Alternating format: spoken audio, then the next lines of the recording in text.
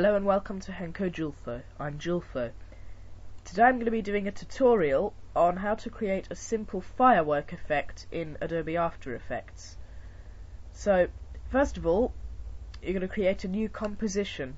Now you can do whatever um, sort of settings you want here.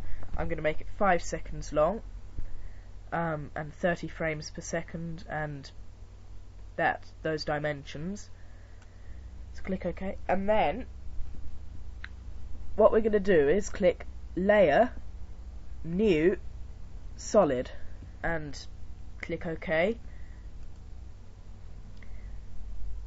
Now click Effect, Simulation, and CC Particle Systems 2. How scintillating.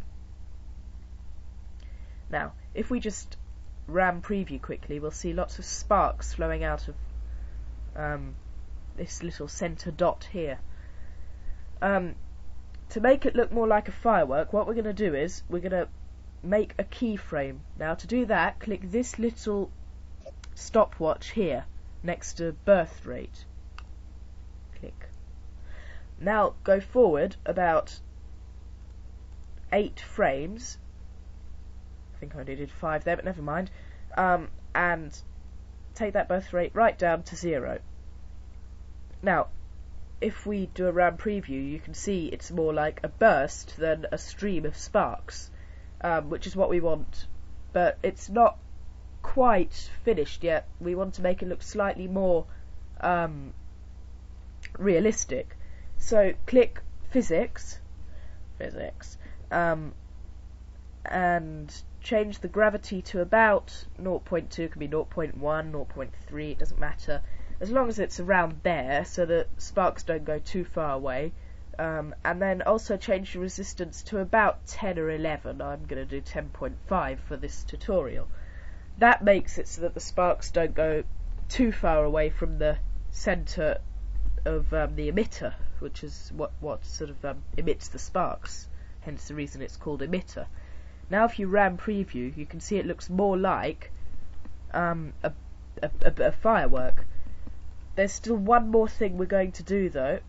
Click on particle and change the max opacity to 50. This just makes it so that it's not quite as um, opaque. RAM preview and you can see it look um, you can see it looks more like a firework now. Now that's the um, basic firework effect achieved, but we can change a couple more things, mainly the colours.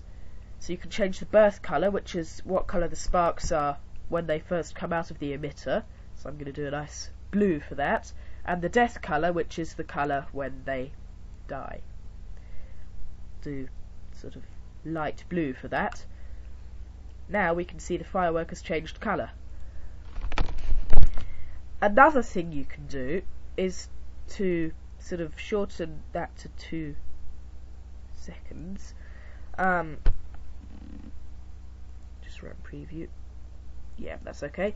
Um, and then go edit, duplicate, and you'll see we now have two firework bursts. Um, now, click on the first dark grey solid here and then click on producer there and position and click that little button there. You'll see you now have a crosshair which is where you can um, change the position of the emitter or producer. I'm going to put it up there so now you can see the firework comes out from up there where I put the producer. In fact I'm going to change the colour of this one to a red so that the two fireworks contrast each other. There you go, that looks quite nice, doesn't it? Maybe not.